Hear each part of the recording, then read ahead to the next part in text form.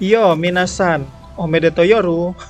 Jadi kali ini gua mau ngebahas mengenai yang kemarin udah pernah gua bahas ya pada lima hari yang lalu tentang AOT yang lagi kejar-kejaran red ranking atau red sama Full Metal Alchemist dan sekarang akhirnya baru aja beberapa menit lalu Shingeki no Kyojin akhirnya berhasil melewati Full Metal Alchemist Brotherhood ya dan menjadi anime terbaik atau juga bisa dibilang anime dengan rating tertinggi di My Anime List ya.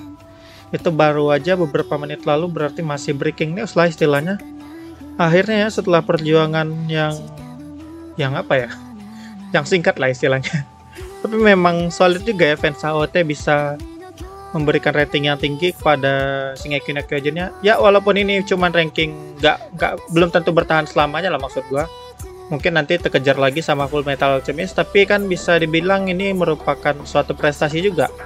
Paling nggak bisa kita abadikan kan di momen ini menjadi anime terbaik buat Shingeki no Kyojin The Final Season. Gue jadi agak penasaran ya kan gimana ekspresi wajah orang-orang yang mengatakan kemarin AOT final season itu jelek setelah melihat pencapaian ini. Auto nelan udah kali ya.